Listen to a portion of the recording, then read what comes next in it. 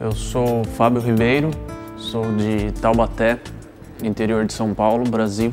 Eu descobri o EMI vendo, lendo revistas, histórias de guitarristas que vieram aqui na década de 80 e de 90 estudar na escola. E eu decidi estudar aqui porque acredito assim que além de ter uma estrutura muito boa, sempre tem muitas clínicas interessantes de músicos tops e o networking é muito importante porque você tem contato com pessoas que acreditam no mesmo sonho que você, que querem tocar com alguns artistas, fazer turnês, compor e por isso que eu vim estudar aqui no EMAI.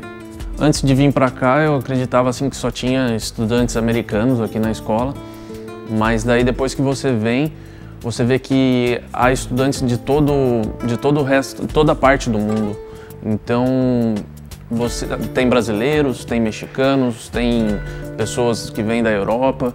Então é um network muito importante. Você acaba aprendendo muito com os outros estudantes de outros países e com os estudantes aqui dos Estados Unidos também.